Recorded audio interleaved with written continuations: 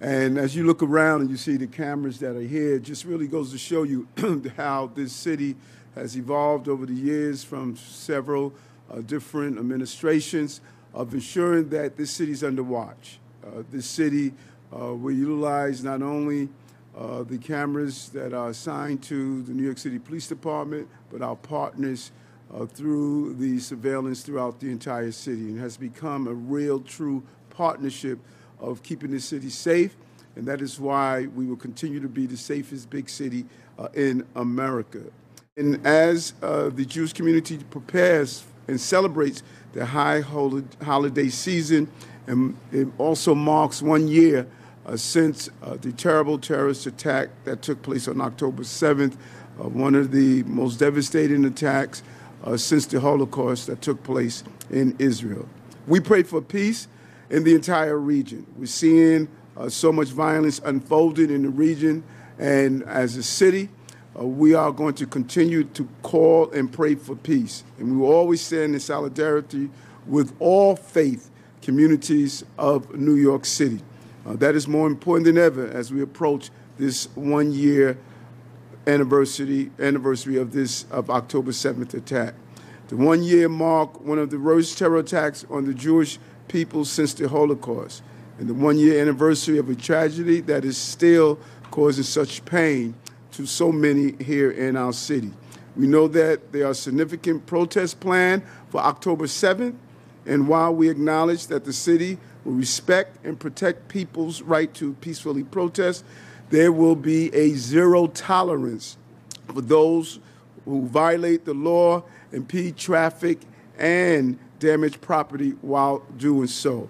We will not accept for people to be threatened at their places of work, their places of worship, or any place here in New York City. And as the mayor with the largest community of various faiths in the United States, it is my sacred duty to protect all New Yorkers, and that is what we are going to do. As a person of faith, I will always stand with those who seek to live in worship in freedom and security. And I want every New Yorker to know your city will protect you.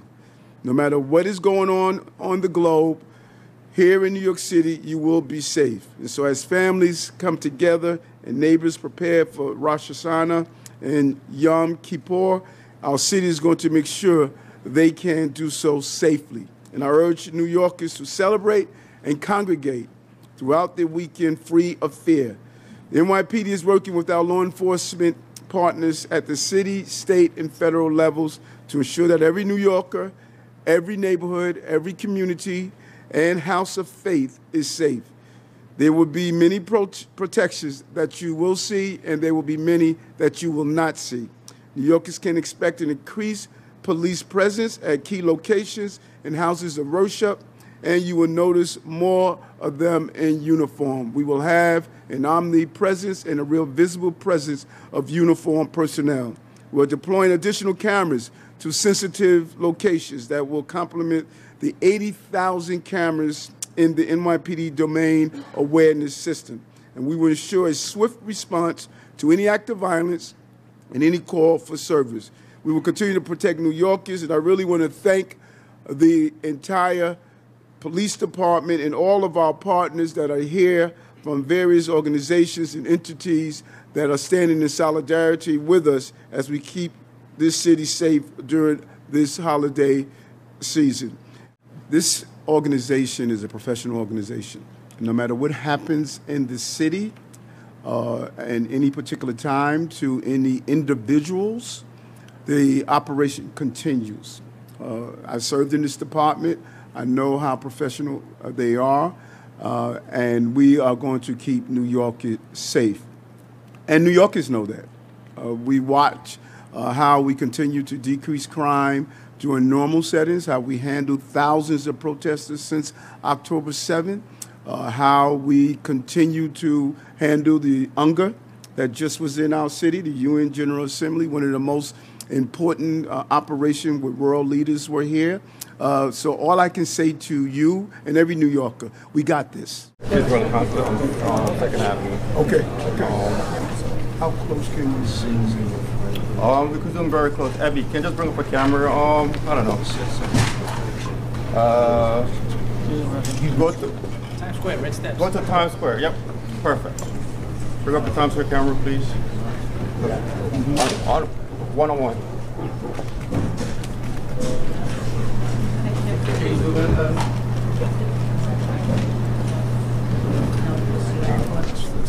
It's very, very clear.